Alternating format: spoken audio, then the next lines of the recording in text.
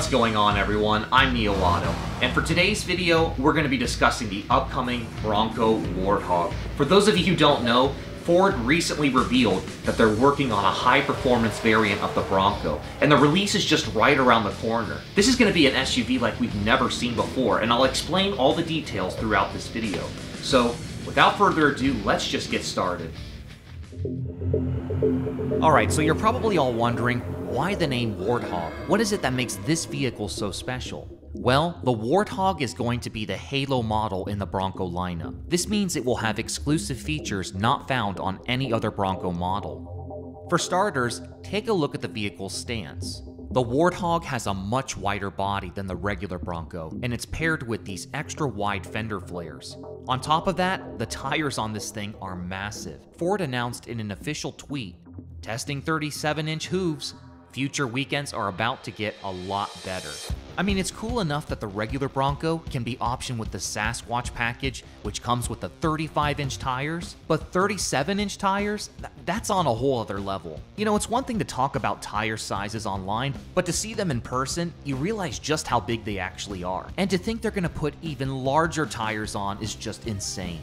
Now, for the longest time, it was speculated that Ford would use the Raptor moniker, calling it the Bronco Raptor. So far, they've had the F 150 Raptor, the Ranger Raptor. It would only seem natural for them to have a Bronco Raptor, but that's not the case. Let's take a closer look. Now, interestingly enough, one of the earliest mentions of the Bronco Raptor name was found on a LinkedIn profile. Back in August, a Ford engineer had written in his bio that he is currently involved with designing the EDS system for, get this, the 2023 Bronco Raptor. But as soon as the news started to pick up on this story, the profile was quickly updated, with no more mentioning of a Bronco Raptor. Seems a little suspicious if you'd ask me. At this point, everyone was convinced it's going to be the Bronco Raptor. It just makes sense. But the very next month, Ford trademarked the Warthog name. This was discovered on the United States Patent and Trademark Office website, and it suggests that Ford is planning on using this name. On top of this evidence, many people have seen the prototypes out testing on the streets, with some photos revealing Warthog written on the components in very small writing. It would seem that Ford was originally planning on calling it the Bronco Raptor, but later changed their mind to Warthog. But what is the reasoning for this? Well, I think the answer is pretty obvious. It's no secret that Ford is positioning Bronco as its own unique brand of off-road vehicles. And while the Raptor nameplate works fine for the F-150 and the Ranger, it just doesn't fit with the Bronco. Bronco Warthog, it just sounds better. And it fits the description of the vehicle. So let's dissect everything we know about the Warthog. First off, it's going to have a bigger engine. The most likely candidate is the 3.5 liter twin turbo V6. This is the same engine found in the F 150 Raptor. It makes 450 horsepower and 510 pound-feet of torque. But Ford is going to release a new F-150 Raptor in the next year or so, and it's very likely they'll increase the power for the new generation. If this is the case, we may see that engine put in the Warthog as well. In a previous video, I discussed how the F-150 Raptor might get a V8 engine. This would be direct competition to the Ram TRX, the first real threat to the F-150 Raptor. The Ram TRX has a V8 making over 700 horsepower. And what's even more insulting is that if you look under the hood, there's these decorations, I guess you could call them Easter eggs. It shows Tyrannosaurus Rex eating a raptor. That's that's pretty good. And this picture is even funnier. You got a Tyrannosaurus Rex chasing this tiny little raptor. I mean, this pretty much sums it up. Despite all this, Ford still may put a 3.5 liter V6 in both the Raptor and the Warthog. But what if Ford does pursue the V8 option? If they were to put the V8 in both the Raptor and the Warthog, it would be an epic response to the Ram TRX.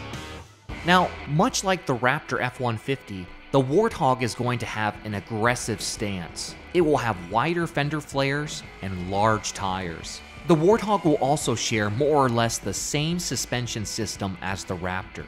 This includes Fox Racing live valve shocks, which are electronically controlled and have the ability to change the damping compression. So in other words, that explains why this Bronco Warthog is in the air. It has a special suspension system that's capable of handling such a stunt. And let's not forget about those large tires. The Raptor F-150 comes with 34-inch tires, but the Warthog is going to be available with 37-inch tires. These are BF Goodrich KO2 all-terrain tires. The icing on the cake is the extra wide body kit.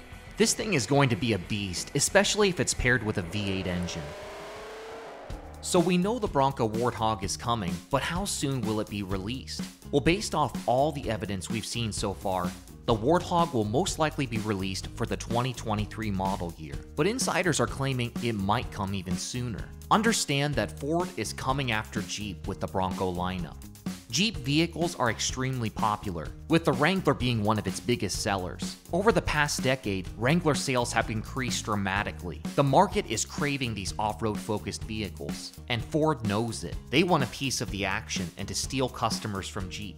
But Jeep's not going to let this happen without a fight.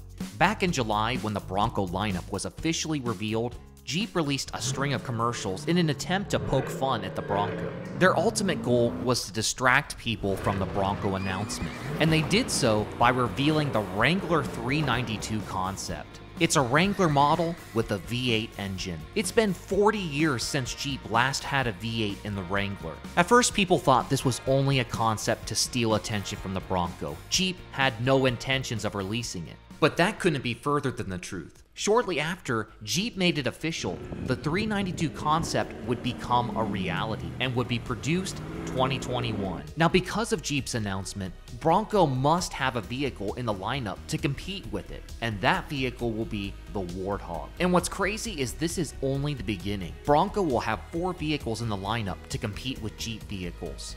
And before long, there's going to be a Bronco pickup to compete directly with the Gladiator, bringing it to a total of five vehicles competing directly with Jeep. If Ford is successful, they will put a huge dent in Jeep sales.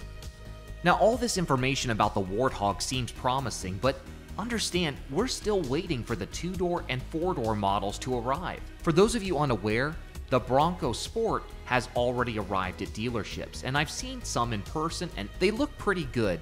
But the two door and four door models have been delayed and are currently scheduled to reach customers by summer 2021. That's a long time to wait.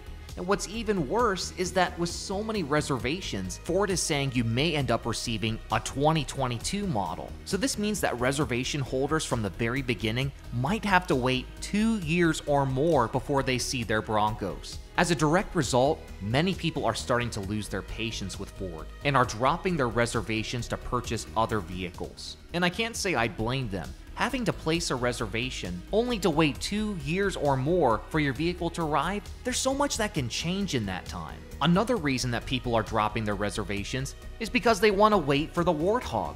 I mean, think about it. Customers that have reserved the most expensive Bronco models are realizing they may not even receive their vehicle until 2022. And by that time, the Warthog will shortly be revealed and released later that year. Assuming that you can find a dealer willing to sell the Warthog at MSRP, it would make a lot more sense to wait. It's more than likely that the Warthog will be priced a lot like how the Raptor is priced. It would start around 55,000 but would grow as you add more options. I'm not putting down any of the other Bronco trims, I think they're fantastic. But understand, if you're somebody that wants to get the most powerful Bronco model, the Warthog release is right around the corner. This is such an exciting time for the Bronco brand, and I can't wait to hear all the details about this new Warthog. Because if something is going to be called a Bronco, it better be able to live up to that name. So there you have it, folks. What do you think about the Bronco Warthog? Is it going to get a V8 engine? I certainly hope so, and it's always a possibility considering the Raptor is going to get one, so we'll just have to wait and see. I'm NeoAuto, and thanks for watching. Subscribe to the channel if you'd like to keep up to date with the latest car news, and I'll see you real soon. Take care.